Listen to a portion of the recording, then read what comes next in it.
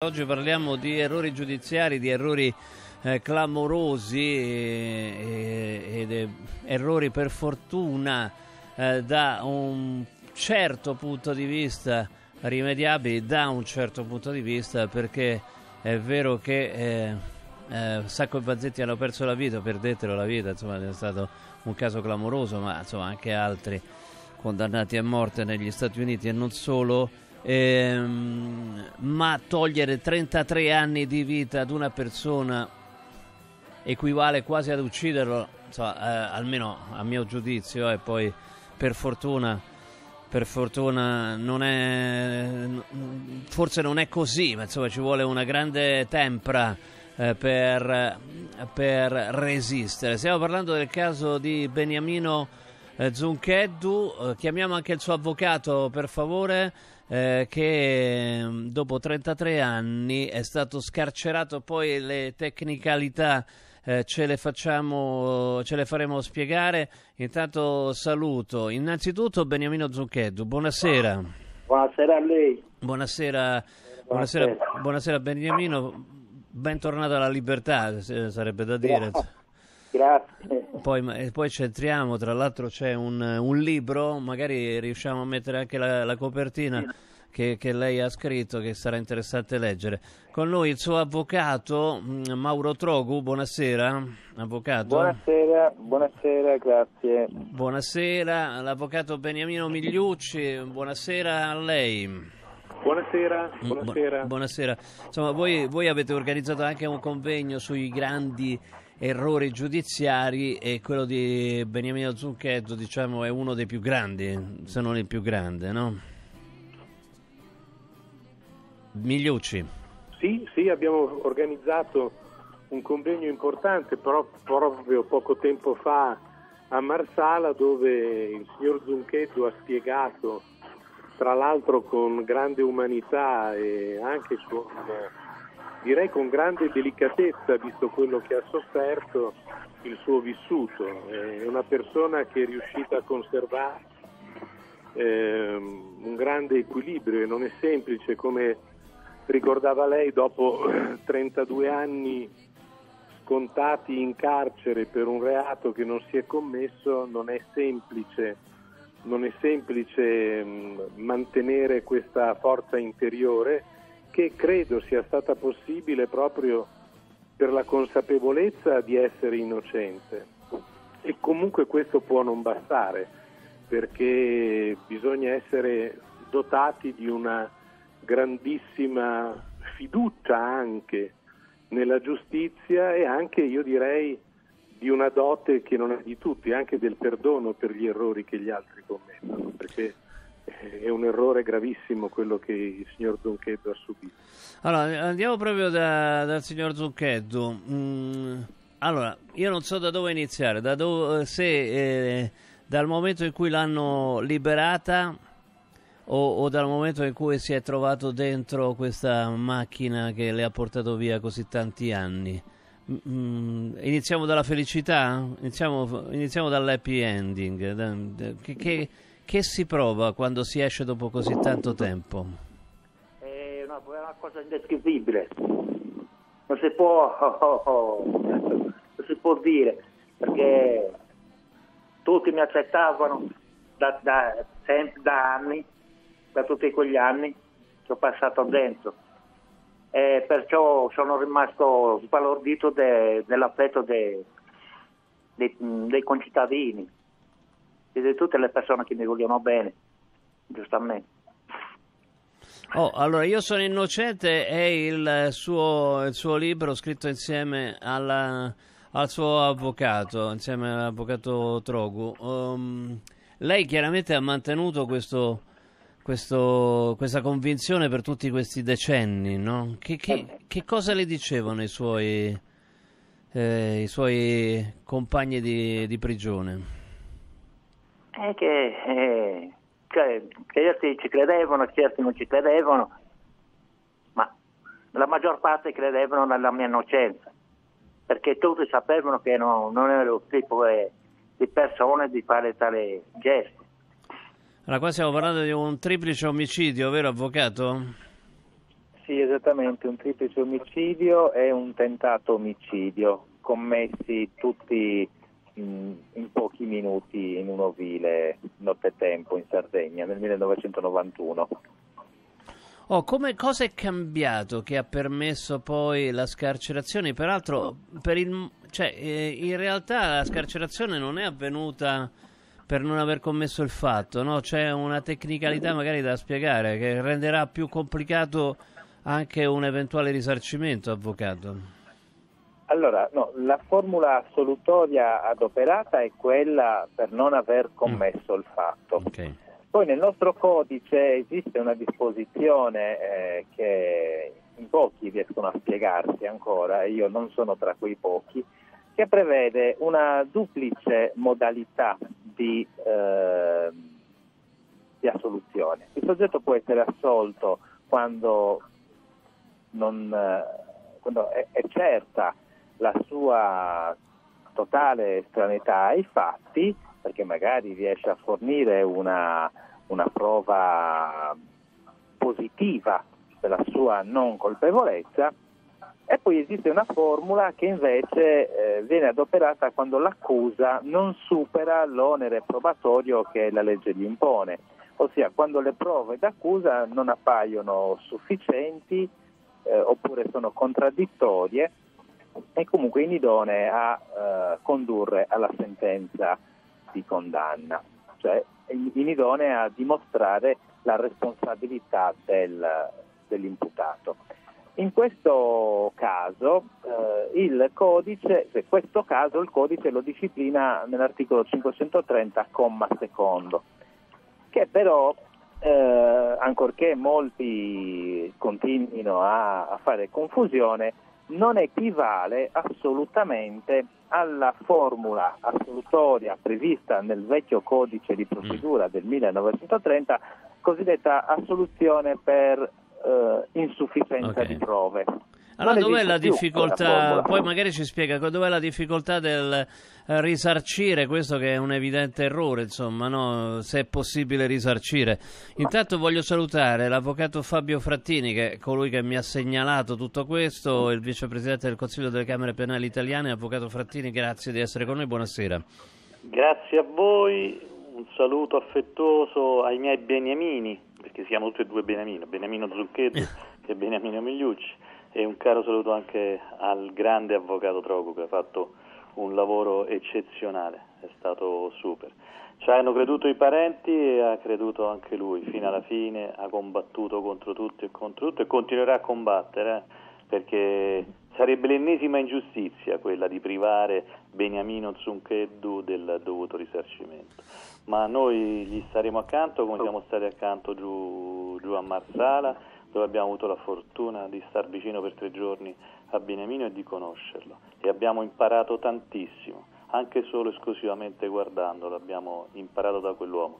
Pensa, pensa Stefano agli italiani che sono stati chiusi in casa per 60, poco più di 60 giorni nel, nel maledetto pandemia, anno 2020. Lockdown. Stavamo nel lockdown, stavamo a casa e sembrava impazzire. Siamo stati solo due mesi a casa quest'uomo è rimasto per 33 anni in una cella. Neanche a casa, Ma, insomma, cioè, quindi, cioè, no, eh, non voglio togliere spazio, ci mancherebbe, quindi... Comunque, come, come, come, ha scritto anche il messaggero, è l'errore giudiziario più clamoroso della storia italiana, insomma, no? questo lo possiamo, possiamo dire, Avvocato Frattini, poi sentiamo anche gli altri pareri. Quel, quel, giorno, quel giorno, quei due giorni giù a Marsala di errori giudiziari abbiamo parlato di quelli più clamorosi. Si parte dalla notte dei tempi col caso Tortora. Tortora è stato quello che ha portato alla luce quanto si potesse sbagliare e quanto si dovesse evitare di sbagliare. Poi c'era Gulotta che fino all'arrivo di, di Beniamino Zunchetto diciamo, aveva il primato perché era diciamo, la, la, la, star del momento e poi dopo arrivato, sono arrivati 33 anni di Beniamino ai limiti della sopportabilità eh, umana. Però, caro Stefano, se io ti inizio a indicare i numeri, vengono i brividi a te, vengono i brividi a tutti i nostri radioascoltatori. Oggi, oggi ci prendiamo più tempo, eh, continueremo anche dopo la pausa pubblicitaria, ma vorrei, quindi eh, tra l'altro i vostri messaggi 3775 104 500 e se poi vorrete dire qualcosa a Beniamino Zuncheddu. Apriamo anche le linee 06 88 33 033 06 88 33 040. Eh, Zuncheddu, come si fa a resistere così tanto tempo uh, chiusi in carcere? Eh, descriverlo è impossibile perché la, la mente è sempre fuori e il corpo rimane dentro, sta sempre pensando che un giorno o l'altro tanto si deve uscire, perché se uno non ha commesso il reato, giustamente pensa sempre che la verità deve uscire fuori.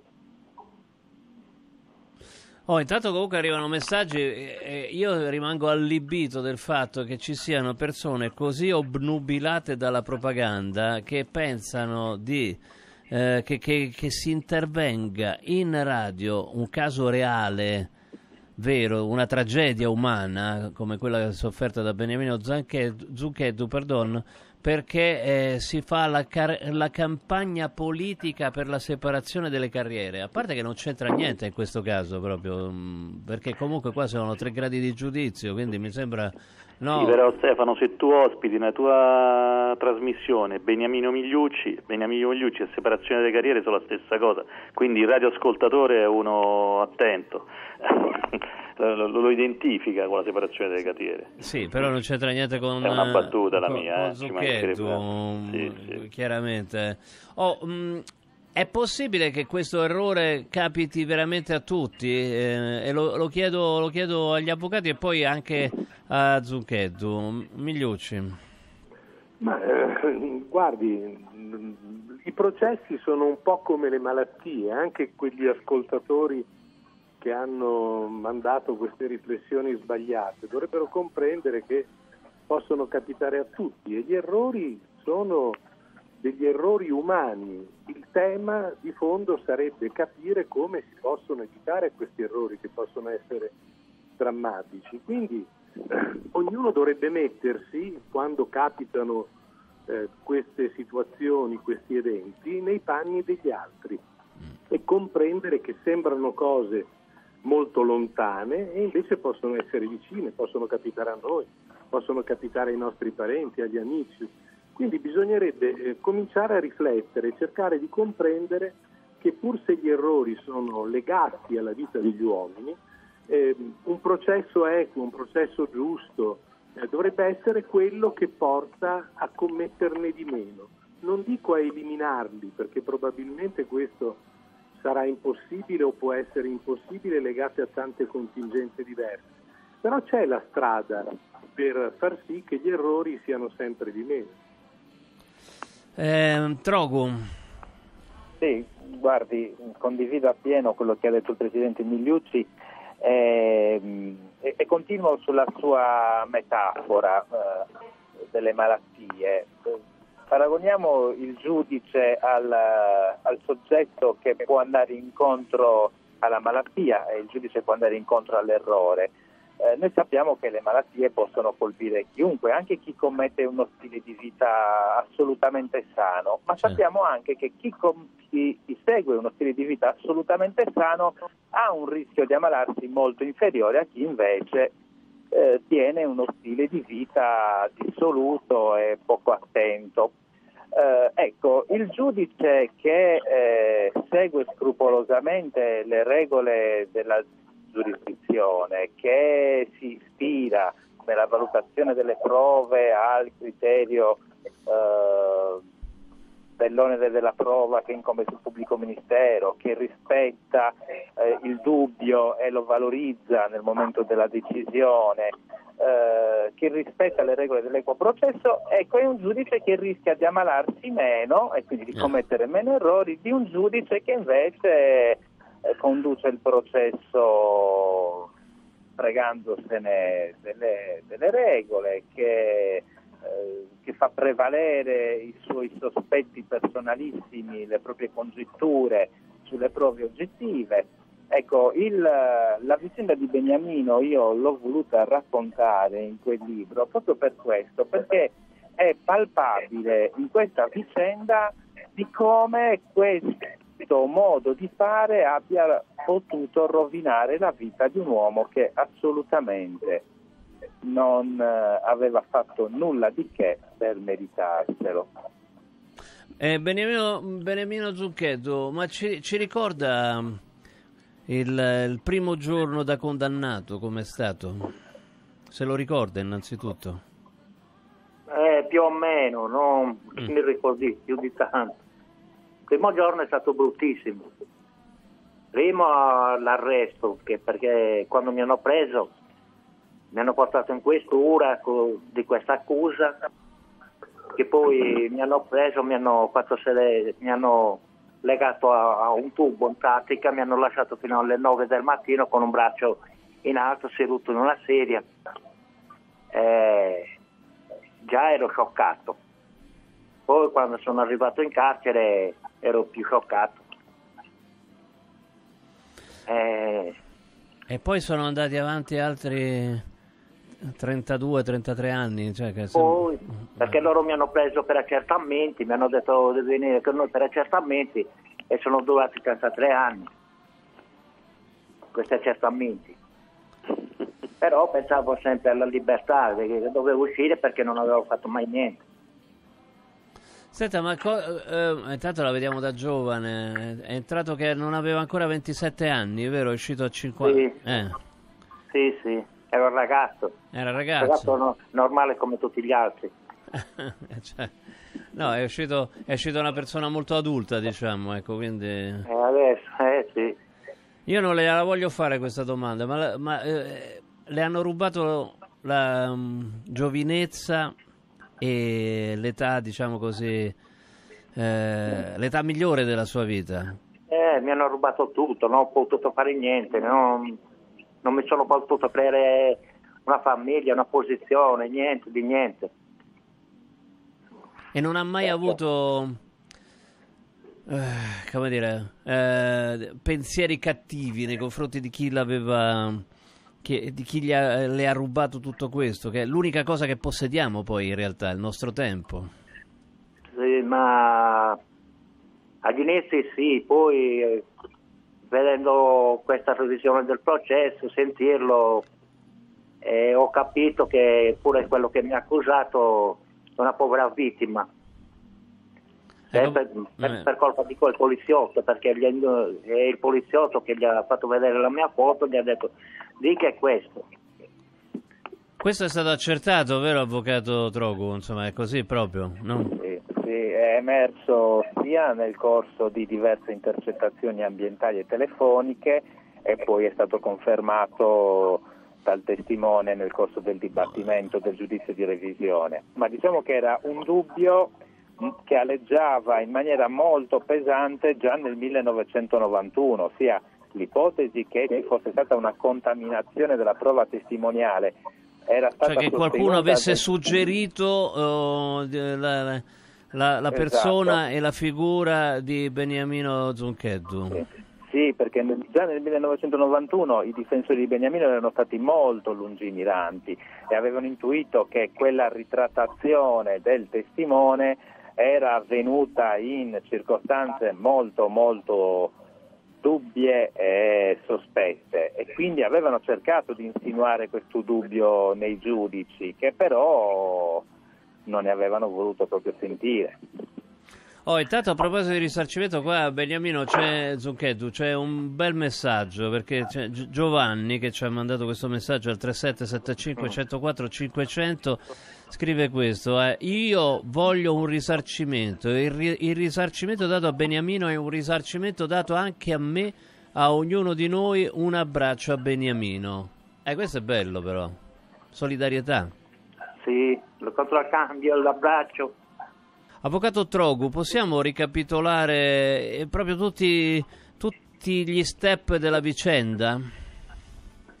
Sì, allora, mh, mm, cerco di essere il più sintetico possibile. Nel 1991 eh, tre uomini vengono uccisi nottetempo in un ovile, un quarto rimane gravemente ferito ma eh, sopravvive.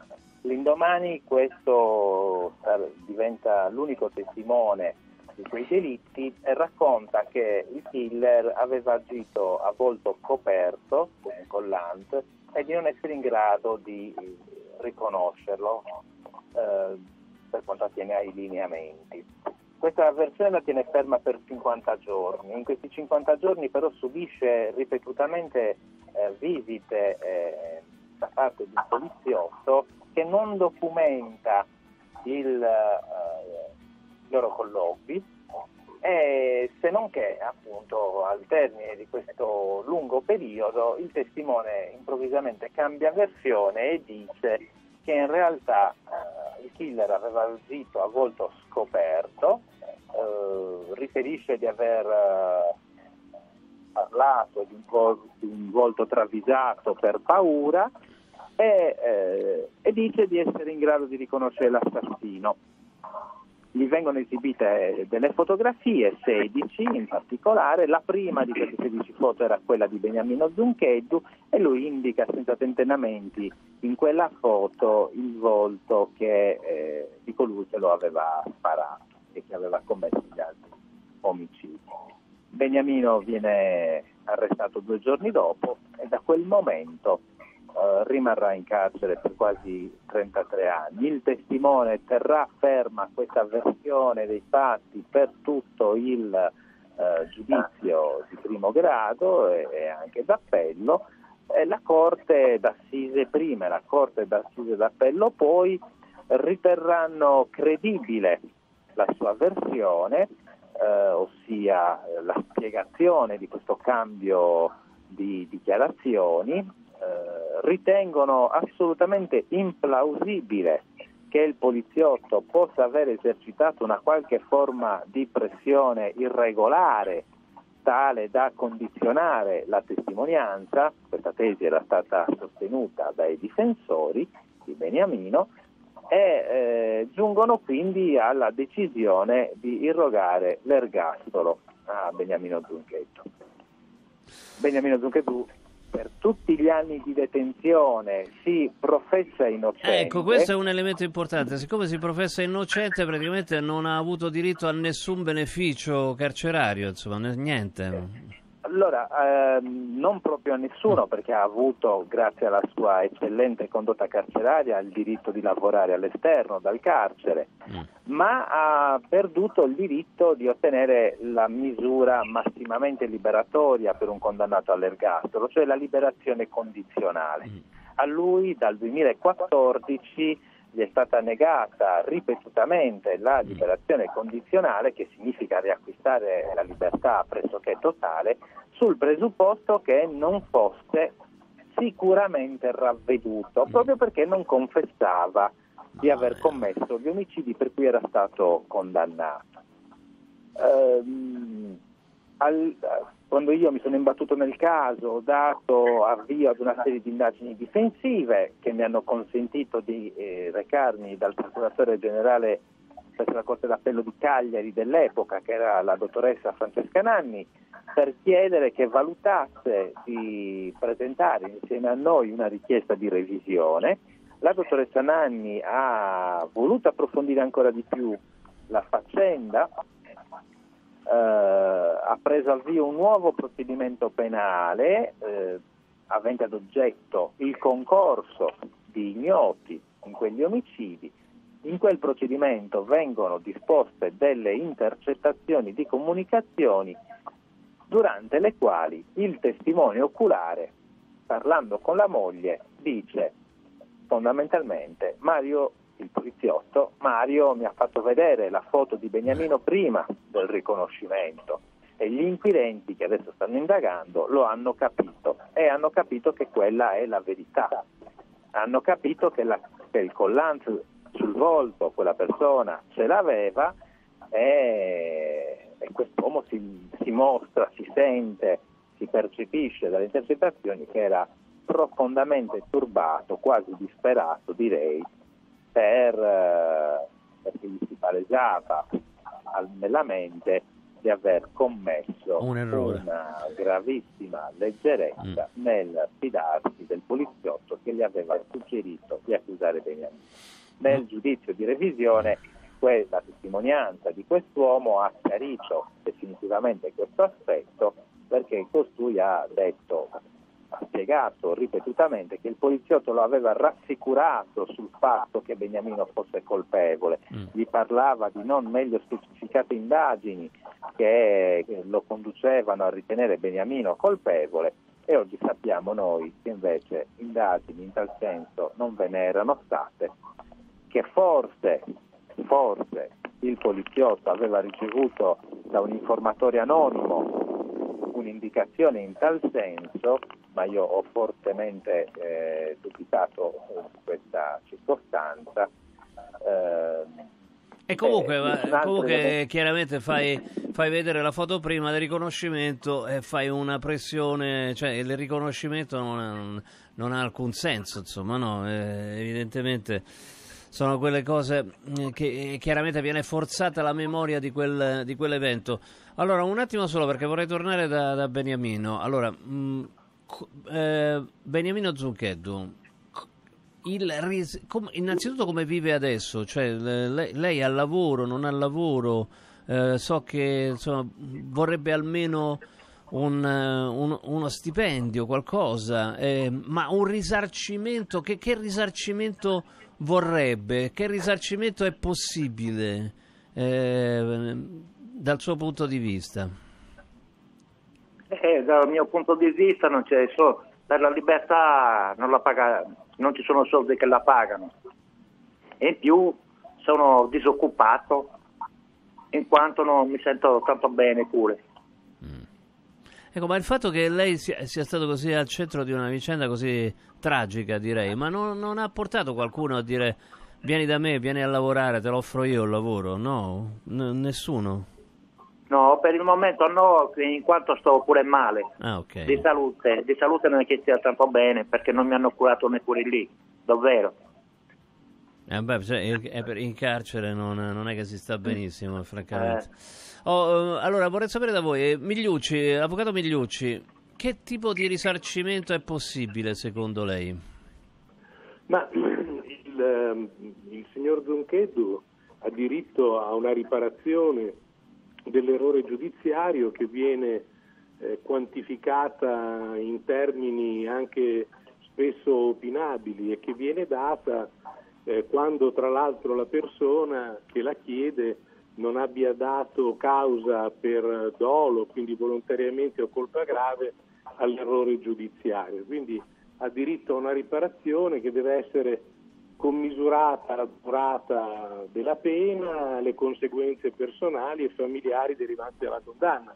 Ora io non so nel caso concreto eh, se eh, la riparazione in che termini eh, possa avvenire o meno, credo che però 32 anni Mamma di carcere meriterebbero importi importanti. Noi dobbiamo pensare che per esempio esiste un'altra eh, possibilità per chi è una cosa diversa, per chi sia stato ingiustamente in carcere, c'è l'indennizzo per ingiusta detenzione eh, che arrivi, arrivi, a importi che eh, spesso non sono neanche così significativi.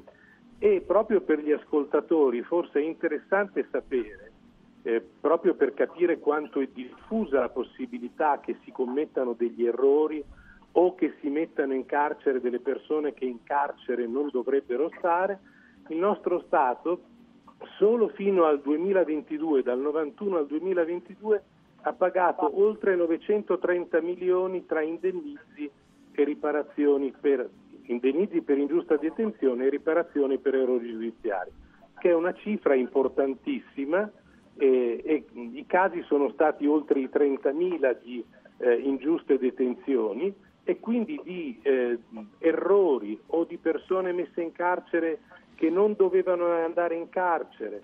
Eh, ce ne sono molti e questo credo che dovrebbe comportare una riflessione molto profonda. In carcere, nella fase delle indagini eh, in, nella custodia cautelare dovrebbe essere applicata solo quando è assolutamente necessario e bisognerebbe anche capire che bisognerebbe, come dicevamo prima, cercare di fare in modo che vi siano dei controlli adeguati per evitare che le persone perdano la libertà e con la libertà spesso la loro dignità e, e spesso anche la loro salute. Noi abbiamo ricordato oggi Beniamino Zunchedo, ma insomma, possiamo andare a tanti anni fa, molti non lo ricordano neanche più, i più giovani magari non lo sanno neanche, ma il caso di Enzo Tortora è un caso che dovrebbe essere ricordato e magari portato certo. anche nelle scuole per far capire come quando si entra in un tritacarne come quello della giustizia si può rimanere schiacciati e quindi è necessario cercare gli antidoti per evitare gli errori. Eh, gli antidoti. Ecco, tra l'altro l'avvocato Frattini, poi torniamo da, da, dall'avvocato Trogu. Uh, c'è un messaggio da parte di Carlo. Allora, mm, scusa, ma come si può dare l'ergastolo sulla base di un unico testimone? Avvocato Frattini, vicepresidente del Consiglio delle Camere Penali Italiane. Sì, sì, sì, si può dare l'ergastolo anche sulla base di un solo eh. testimone, eh. a condizione che quella testimonianza non sia stata in qualche modo, come dire, inquinata. I, i non numeri... è un po' pochino per, come garan- garanzia di... cioè, no, non stiamo parlando, stiamo parlando di, dell'ergastolo. Cioè, um... Guarda, io adesso apro un'altra parentesi e, e, e, e, un altro settore dove sicuramente qualche volta torneremo a parlare, ma in tutto quello che è il mondo del codice rosso è sufficiente la parola della persona offesa a sostenere un giudizio di responsabilità eh, un grande autore ha scritto che è autocorroborante la parola della persona offesa, prescindendo da tutti questi che sono i riscontri oggettivi e soggettivi. Però ti voglio dire questa cosa, perché l'avvocato Migliucci ha, ha dato l'idea di quello che è l'errore giudiziario, l'ingiusta detenzione e l'errore giudiziario. Un miliardo di euro negli ultimi 30 anni, mille errori giudiziari ogni anno questi sono soltanto la punta dell'iceberg, perché tante volte non si fanno richiesta di indennizi o di riparazioni per ingiusta detenzione. Quindi significa che gli errori sono molti di più. E la vera domanda che noi dobbiamo porci, sulla quale anche l'avvocato Migliucci ha cercato di invitare i radioascoltatori a fare una riflessione, è siamo nel mondo della fisiologia o in quello della patologia? Il nostro sistema è in grado di evitare di commettere degli errori o il nostro sistema purtroppo porta a commettere quegli errori. Prescindendo dal testimone, può, può, assolutamente essere sufficiente un unico testimone, anche per dare una condanna dell'ergastolo. Ma il nostro sistema, che produce così tanti errori, sta operando bene? O forse ha bisogno di qualche accorgimento in versione garantista? Questa è la domanda che io vorrei affidare a tutti i nostri radio, radioascoltatori, caro Stefano, perché Beniamino Zunchendu è, è, è, l'esempio, è l'esempio più eclatante dello stare in carcere per 33 anni. Ma ti posso garantire che le persone che stanno in carcere anche per tre anni, sì. per tre mesi, la vita gli cambia completamente. E ti posso garantire anche un'altra cosa, perché purtroppo i numeri sono terribili. In carcere si muore, siamo arrivati a quota 34 suicidi, siamo passati pochi mesi dall'inizio dell'anno, già siamo a 34 suicidi, in carcere si muore. Eh, avvocato Trogo, io l'ho fatto la domanda a Beniamino Zucchetto, dice quanto, quanto potrebbe essere il, un eventuale risarcimento? Lei, lei se n'è fatta un'idea? A prescindere no, che comunque è una cosa in corso d'opera, evidentemente. Esatto, non, non, me ne sono fatto un'idea perché ho affidato questo compito a dei tecnici, dei consulenti competenti a fare questo genere di, di operazioni eh, che obiettivamente appaiono anche ciniche in un momento come questo. Perché... Però non ha, non ha lavoro, non sta bene, eh, ciniche, ma esatto. gli servono no, per no, no, dico, continuare ciniche a vivere. nel senso che, che, che no, No, no, no, aspetta, non mi fraintenda. Lo cinico nel senso che è veramente difficile eh, quantificare mm. economicamente quello che gli si è tolto. Perché quando si dice molto banalmente che la libertà non ha prezzo, beh, in questa vicenda io ho appreso cosa significa. Io l'altro giorno facevo questo esempio degli studenti. Io in questi 33 anni di vita oh, mi sono fatto una famiglia, certo. una moglie e un figlio. Se venisse qualcuno e mi offrisse 100 miliardi di euro, eh. io darei in cambio mio figlio? No. Ovviamente no. Eh. Ovviamente, capito? Che se anche a Beniamino Finchedu venissero dati 100 miliardi di euro, lui un figlio non lo avrà mai, una moglie spero che possa averla, ma non l'ha avuta finora. Insomma, stiamo parlando di dimensioni, di beni incomparabili. No, assolutamente sì. Beniamino Zucchetto, ma quando è uscito ha trovato qualcuno dei suoi amici, qualcuno che conosceva? Come l'hanno accolta? Mi hanno accolto benissimo. Mm. Tut, tutto il paese, non solo gli amici, anche chi non mi conosceva. Ricordiamo il nome del ah, paese, ah, dai, ci ascoltano ah, tanto in Sardegna. Come si ah, chiama? Burcei. Mm, Burcei. Anche tutti i bambini, dal più piccolo al più vecchio. Cioè, comunque lei è diventato un, un eroe per, per, la resistenza che ha avuto in tutti questi anni in carcere. Ma che eroe? Beh, per loro sì, perché se c'erano bambini che non la conoscevano, sì, sì. che l'hanno accolta così all'uscita, al ritorno in libertà. Eh. E come mi vedono mi salutano tutti, io anche se non li conosco per dire. Però mi salutano tutti. Ma che meraviglia. Ormai li conosco. Ma gli... Stefano, posso dire una cosa? Sì, prego, prego Frattini. Mm, scusami se mi permetto di intervenire. Io penso che Beniamino Zuncheddu ce l'abbia fatta non soltanto perché aspettava che quel giorno, quel faticoso giorno, ma anche perché lì ad andare a trovarlo, se non sbaglio, tutte le volte che poteva andavano i suoi familiari, la famiglia gli è stata sempre vicina, gli ha permesso di farcela fino, fino, fino a pochi giorni fa. Oh, eh, Zucchetto le hanno chiesto anche il parere sul ritorno di Chico Forti e io glielo chiedo, ma non perché ehm, cioè, hanno chiesto che cosa ne pensa eh, del ritorno di una persona condannata per omicidio, eccetera, eccetera, ma insomma ehm, è, è, stato ricevuto dal Presidente del Consiglio, a lei non l'hanno ricevuta, no, le autorità? Eh, cioè, eh? lui, è stato, lui, è stato, fortunato. Mm. Io no, purtroppo nessuno si è stato vivo. Nessuno si è fatto vivo, eh? No, no.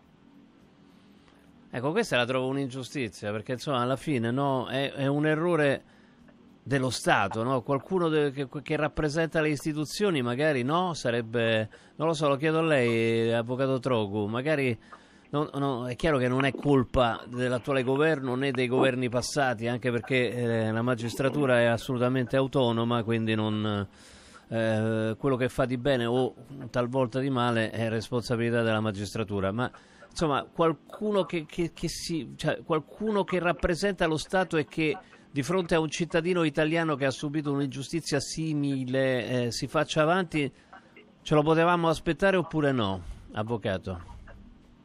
Mm, guardi, io non, non me l'ero posto il quesito prima uh, che tutto finisse. Eh, dopo, obiettivamente, sì, mi sarei aspettato un cenno di solidarietà, non dico molto, un cenno di solidarietà, però come anche queste ultime esperienze, queste ultime vicende hanno avuto un certo risalto mediatico, penso alla vicenda della detenuta Salis, mm. eh, alla vicenda del signor Chico Forti, mi hanno fatto fare questa riflessione che eh, si fa molto in fretta a, a guidare allo scandalo quando certe cose accadono negli ordinamenti esteri mm. e si ha invece molta timidezza nel andare a guardare a fondo cosa succede in casa nostra e quindi si, si fa in fretta a gridare allo scandalo quando una certa condotta che noi non condividiamo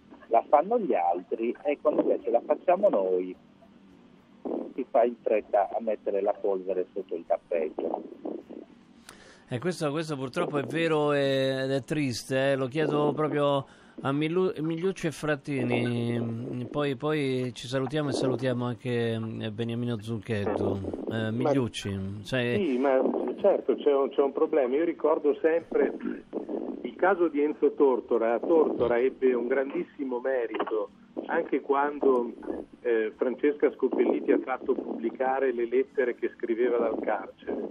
Ha voluto dar voce a tanti che voci eh, come Beniamino Zuncheddu non ce l'hanno, come Giuseppe Gullotta. Ci sono tanti errori di persone umili, di persone che non hanno la ribalta del, eh, dei media che non sono interessanti sotto il profilo elettorale, che hanno subito dei torti, degli errori. Beh, eh, la nostra società li mette un po' come la polvere sotto il tappeto, li rimuove, vuol far finta eh, che non esistono e questo è profondamente sbagliato perché, come dicevamo prima, bisognerebbe portare una riflessione profonda per capire come evitare questi errori, dovremmo anche capire perché, per esempio, come nel caso di Enzo Tortola, ma mi pare anche come nel caso di Zuncheddu, magistrati che magari non hanno visto bene o hanno sbagliato sono stati promossi, tutti quanti hanno mm. fatto, eh, nel caso di Enzo Tortola, hanno fatto brillantissime carriere,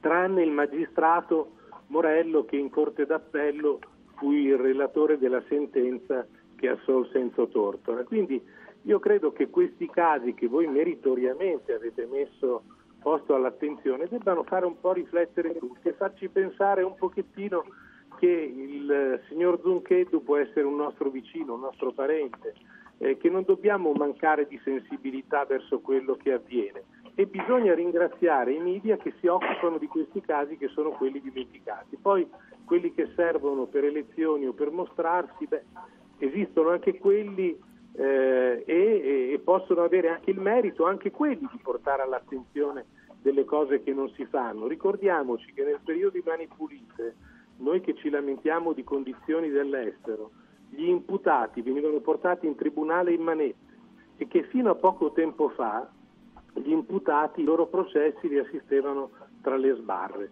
Quindi ognuno, come ha detto anche il collega Trogu, deve pensare alle condizioni in cui viviamo e cercare di rimediare alle cose alle quali possiamo rimediare. Proprio in 30 secondi, Avvocato Frattini, mm, fa più notizia una, tra virgolette, mala giustizia straniera di una italiana?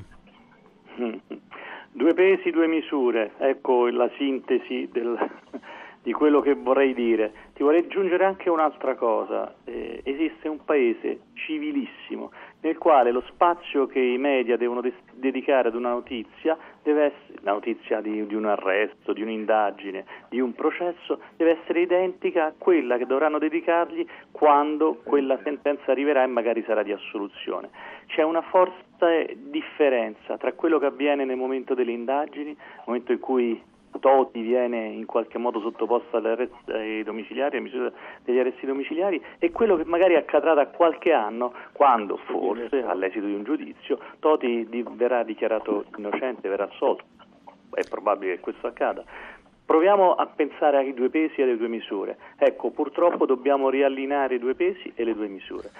E voi, voi, bisogna darvi merito, voi ascoltate anche l'altra parte non, non state solo dalla parte de, di un peso e di una misura e ve ne va dato merito. Eh, Beniamino Zucchetto, chiudiamo con questo messaggio bello che arriva da uh, Pietro. Eh, ha resistito perché è sardo. La dignità di un sardo è notevole, quella di un sardo innocente è immensa.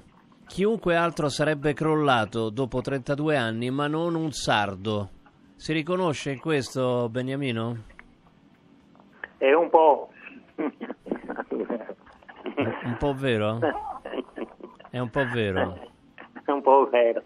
È un po' vero. Ci ascoltano tanti in Sardegna. Ci vuole salutare tutte, tutta la Sardegna in qualche modo, Beniamino? Ringrazio tutti gli ascoltatori e, tut- e tutti quelli che hanno creduto nella mia innocenza.